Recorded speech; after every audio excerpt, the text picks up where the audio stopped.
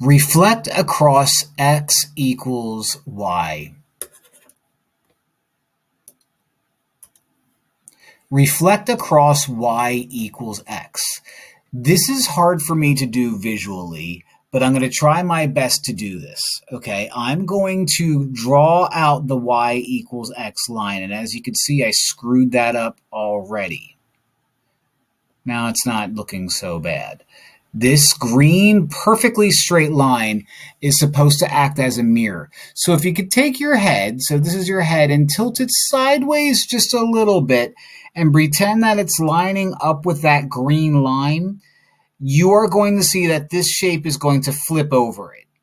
Now, it's hard for me to kind of line things up and find out where these points go. I know from regular reflections that I always count out how many dots I am away or how many units I'm away from the graph or from the mirror, and I just graph it on the other side, but that's hard to see. What I have here is y equals x. So this is what I'm going to do. This is a trick y equals x and x equals y, let me list out my four original pre-image points. This might seem a bit too much and gratuitous, but I guarantee you, if there's anything I'm not, it's gratuitous. L, the original L, is don't move, go up 2, so the original L is 0, 2. The original H is left 2 up one, two, three. So the original H is left 2 up 3.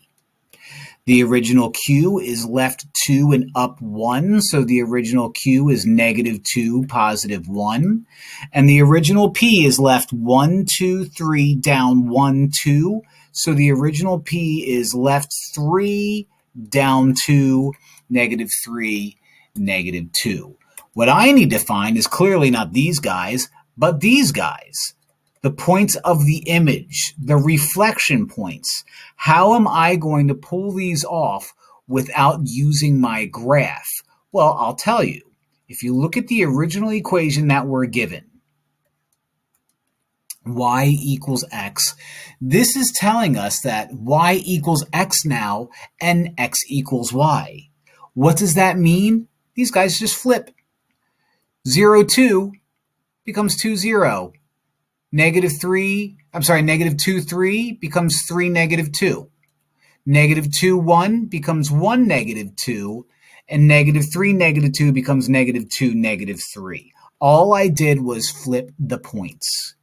I take these guys and graph them out. L prime, let's go to my origin, is right 2. Don't go up or down. L prime. H prime is right one, two, three, down one, two. Put a dot there. H prime. Q prime is go right one, go down one, two. Q prime. And P prime is negative two, negative three. So go left one, two, go down one, two, three. That's P prime. Now for me, I struggle mightily with graphing these. So I'm going to notice that, all right, well, H connects to Q, so H prime is going to connect to Q prime. Q connects to P, so Q prime uh, connects to P prime. Okay. P connects to L, so P prime connects to L prime. Sorry, Q prime. And then last but not least, L connects to H, so L prime to H prime. So again, if you take your head and you tilt it about an eighth of a turn, you can see the mirror image, how this guy reflects to that guy. That these guys, if I knew how to draw, would be the exact same shape. And this guy is just a reflection of that. Okay? Not easy, but the y equals x trick is just that. It's a trick and it's meant to make life a little bit easier if you know the trick. And now you know it.